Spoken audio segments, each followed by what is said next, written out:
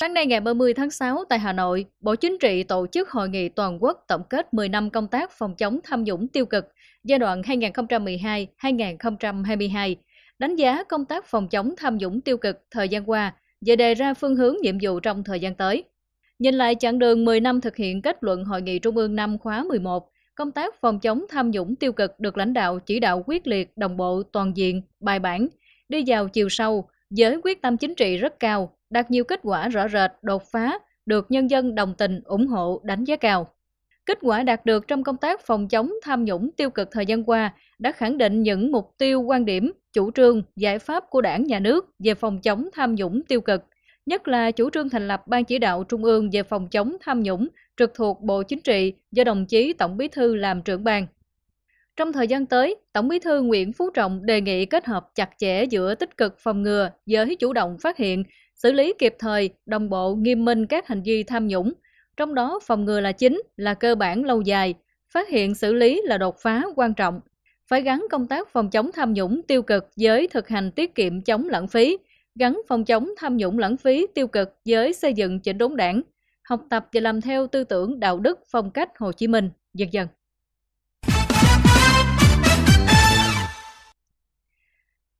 Chiều nay ngày 30 tháng 6, Sở Công Thương tổ chức sơ kết hoạt động 6 tháng đầu năm và triển khai phương hướng nhiệm vụ 6 tháng cuối năm 2022. Đến dự có Phó Chủ tịch Ủy ban Nhân dân tỉnh Huỳnh Minh Tuấn. Theo báo cáo của Sở Công Thương, trong 6 tháng đầu năm, giá trị sản xuất công nghiệp theo giá so sánh năm 2010 ước đạt hơn 35.800 tỷ đồng, tăng 6,99% so với cùng kỳ năm 2021. Sản lượng điện thương phẩm ước đạt 1.376 triệu kW, tăng 5,18%.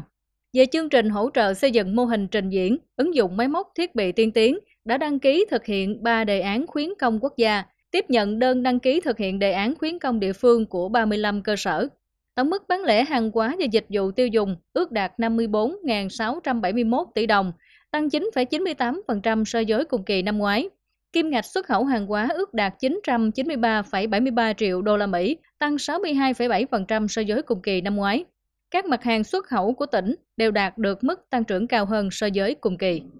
Tại hội nghị, Phó Chủ tịch Ủy ban nhân dân tỉnh Huỳnh Minh Tuấn đã cho ý kiến cụ thể đối với các kiến nghị đề xuất tháo gỡ khó khăn, vướng mắt của ngành công thương, đồng thời ghi nhận nỗ lực của ngành trong 6 tháng đầu năm. Các lĩnh vực đều đạt và vượt kế hoạch đề ra, đặc biệt xuất khẩu là điểm sáng cần tiếp tục phát huy, nhiều hội thảo, hội nghị xúc tiến đầu tư được tổ chức với các chuyên đề thiết thực. Ông Huỳnh Minh Tuấn đề nghị ngành công thương khắc phục hạn chế trong công tác quản lý, đẩy mạnh hơn nữa thương mại điện tử, chuyển đổi số và tập trung thực hiện các mục tiêu của ngành trong 6 tháng cuối năm.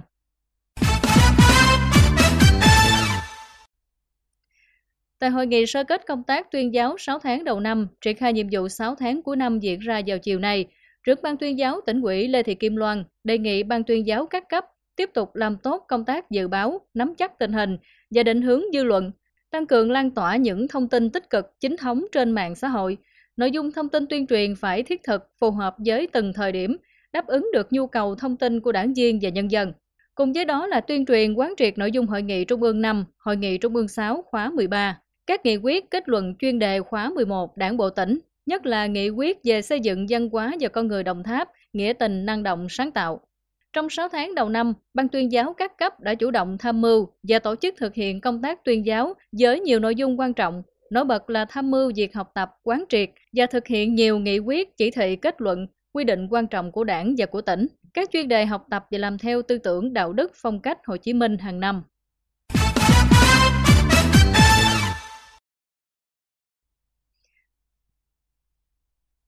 Hôm nay, Chủ tịch Ủy ban Nhân dân tỉnh phê duyệt điều lệ ngành hàng sen Đồng Tháp đã được Đại hội thành lập Hội ngành hàng sen Đồng Tháp nhiệm kỳ 2022-2027 thông qua vào ngày 19 tháng 5 năm 2022. Hội ngành hàng sen Đồng Tháp là tổ chức xã hội nghề nghiệp của các cá nhân tổ chức không phân biệt tôn giáo, dân tộc trong sản xuất kinh doanh, nghiên cứu các sản phẩm từ cây sen, tự nguyện thành lập nhằm mục đích tập hợp đoàn kết hội viên, bảo vệ quyền, lợi ích hợp pháp của hội viên – hỗ trợ nhau trong hoạt động có hiệu quả, góp phần vào việc phát triển kinh tế xã hội của địa phương.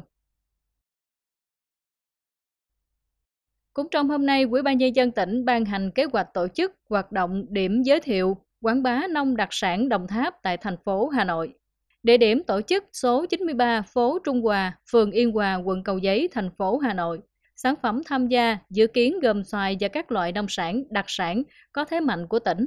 Dự kiến thời gian tổ chức lễ công bố và đưa vào hoạt động vào ngày 4 tháng 7 năm 2022.